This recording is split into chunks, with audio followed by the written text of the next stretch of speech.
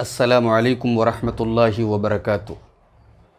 الحمد للہ رب العالمین والصلاة والسلام علی سید الانبیاء والمرسلین وعلی آلہ وصحبہ اجمعین، اما بعد۔ معزز ناظرین، قرآن کریم میں سورة الفرقان کے آخری رکوع میں اللہ تبارک و تعالیٰ نے اپنے کچھ اسپیشل بندوں کا ذکر کیا ہے اور ان کی بارہ کوالٹیز اللہ تعالیٰ نے بیان کی ہیں۔ ظاہر ہے کہ اللہ تعالیٰ اگر اپنے کچھ بندوں کو اپنا خاص بندہ کہہ رہا ہے، ان کا جو انٹروڈکشن اللہ نے کیا وہ عباد الرحمن، رحمان کے بندے۔ ظاہر ہے کہ دنیا کے تمام کے تمام لوگ اللہ تعالیٰ کے بندے ہیں۔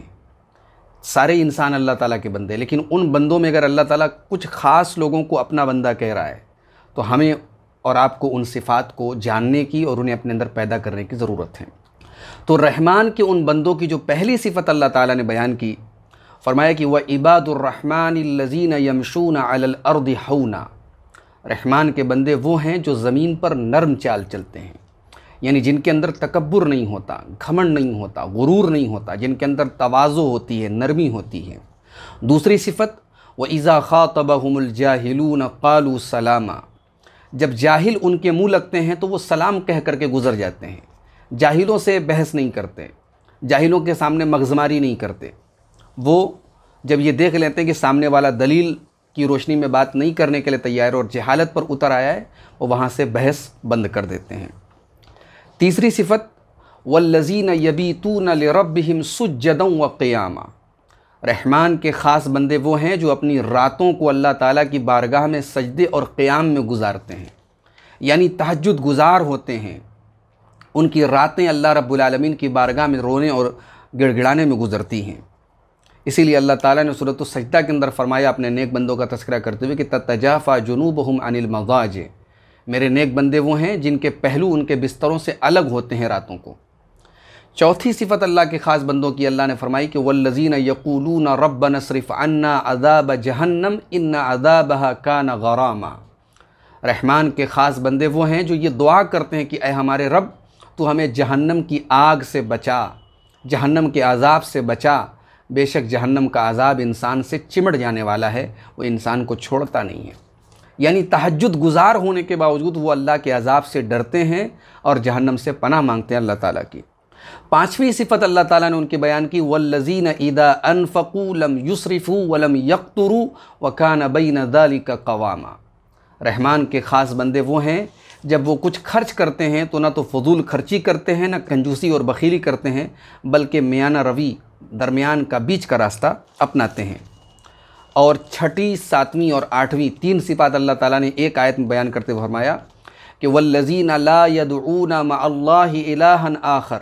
رحمان کے بندے وہ ہیں جو شرک نہیں کرتے، اللہ کے ساتھ کسی اور کو نہیں پکارتے۔ ولا يقتلون النفس التي حرم اللہ الا بالحق۔ اور کسی کا ناحق قتل نہیں کرتے، کسی بے گناہ کا خون نہیں کرتے، ولا یزنون اور زنا کاری نہیں کرتے۔ یہ تین بڑے بڑے کرائم ہیں، شرک، قتل اور زنا، ان تینوں سے وہ اپنے آپ کو بچاتے ہیں۔ تو یہ ٹوٹل آٹھ صفات ہو گئی اس کے بعد نمبر نو اور دس، دو صفات اللہ تعالیٰ نے ایک آیت میں بیان کی، فرمایا والذین لا یشہدون الزور و اذا مروا باللغو مروا کراما رحمان کے بندے وہ ہیں جو جھوٹی گواہی نہیں دیتے، جو جھوٹ نہیں بولتے، جو غلط کاموں میں حاضر نہیں ہوتے، جھوٹے کاموں میں حاضر نہیں ہوتے۔ اور دسویں صفت وہ ادا مرو باللغو مرو کراما اگر کسی لغو چیز کے پاس سے کسی بیہودہ کسی ولگر، کسی خراب، کسی فحش چیز کے پاس سے اگر ان کا گزر ہو، تو شرافت سے گزر جاتے ہیں، اس میں انوالو نہیں ہوتے۔ نمبر گیارہ والذین اذا ذکروا بآیات ربہم لم یخروا علیہا سم و عمیانا رحمان کے خاص بندوں کی گیارہویں صفت یہ ہے کہ جب ان کے رب کی آیتیں ان کے سامنے پڑھی جاتی ہیں تو وہ غور کرتے ہیں۔ وہ اندھے اور بہرے بن کر کے گر نہیں پڑتے، بلکہ ان آیتوں پر غور کرتے ہیں اور ان کے اوپر عمل کرتے ہیں۔ اور آخری صفت اللہ تعالیٰ نے ان کی بیان کی والذین یقولون ربنا حب لنا من ازواجنا و ذریاتنا قرۃ اعین کہ رحمان کے بندے دعا کرتے ہیں کہ اے ہمارے رب، تو ہمیں ہماری بیویوں کی طرف سے اور ہماری اولاد کی طرف سے آنکھوں کی ٹھنڈک عطا فرما۔ کیا مطلب ہوا؟ یعنی اے اللہ، ہماری اولاد کو اور ہماری بیویوں کو، ہماری فیملی کو بھی تو نیک بنا دے، دیندار بنا دے۔ وجہ النا للمتقین امامہ اور ہمیں متقیوں کا امام بنا دے۔ یہ بہترین دعا کرتے ہیں رحمان کے خاص بندے۔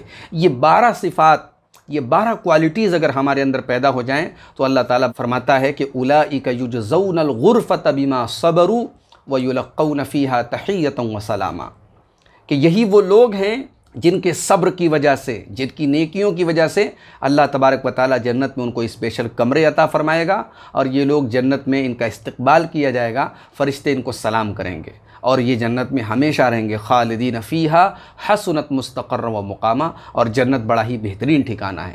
اللہ سے دعا ہے رب العالمین، ان بارہ صفات کو ہم سب کو اپنے اندر پیدا کرنے کی توفیق عطا فرمائے۔ آمین۔ السلام علیکم ورحمۃ اللہ وبرکاتہ۔